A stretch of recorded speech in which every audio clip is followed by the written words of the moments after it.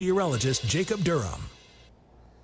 Well, good Friday morning coming up on 516, and we're still dealing with some patchy, dense fog out there. We just talked about the visibilities, but we're also got those showers and storms now moving into portions of Cumberland, Fentress, and Wayne County there in southeastern Kentucky, and that's what we're going to be looking at for much of the day are those scattered downpours, even a few storms. There are some lightning with these, thankfully, well below severe limits at the moment, but we'll continue to track that in case it changes. And we're still looking at a 50-50 weekend as well. Saturday, pretty dry. It's going to be warm.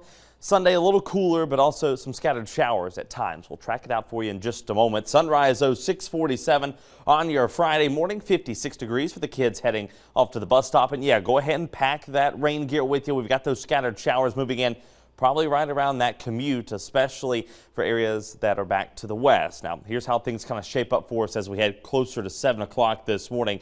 Notice the widespread showers and even a few storms in there, mainly across the plateau. It becomes a little bit more spotty to scattered into the valley. That changes as we head through the mid to late morning. That line slowly pushes off towards the east, and that'll give us those heavier downpours through the valley through mid to late morning. So grabbing a bite to eat for lunch, probably going to be a little bit unsettled, and that lasts all the way into the early afternoon. There goes those showers and storms off to the east, though, by 5 o'clock. So that evening commute, maybe looking to get off a little bit early on this Friday. Hopefully you can dodge some of those showers and then we'll see maybe an additional line pushing through closer to say 7, 8 o'clock. But at least it's warmer today. Of course, we're on that warming trend temporarily. 73 in Knoxville to 74 Kingston, 75 Loudon to Madisonville, 74 in Tellico Plains, back in the mid to upper 60s Plateau, 66 Jamestown to 65 Crossville, 70 in Rockwood, 68 Williamsburg to 67 Monticello, 68 Middlesboro. There's your scattered showers and downpours by 4 o'clock in the afternoon. 72 Newport to Dandridge to Strawberry Plain, 73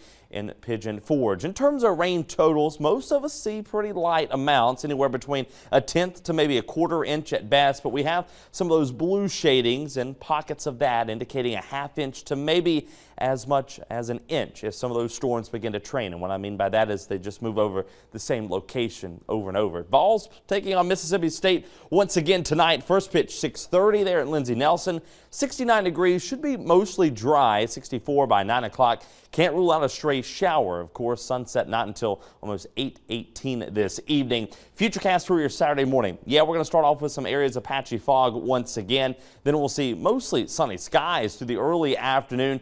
Best chance of rain, at least during the day tomorrow, would be off to the north and west. Southeastern Kentucky it might be a little cloudier, a little cooler as well, but the rain does move back in Saturday night into your Sunday. 67 degrees is that temperature. Look at Monday, though, into Tuesday. Drier weather. Yes, it's going to be back below average in the mid 60s, but we'll at least take more sunshine and then slowly warming up by late next week. But just make sure to have the WVLT First Alert Weather app and that rain gear handy with you as we track those scattered downpours today.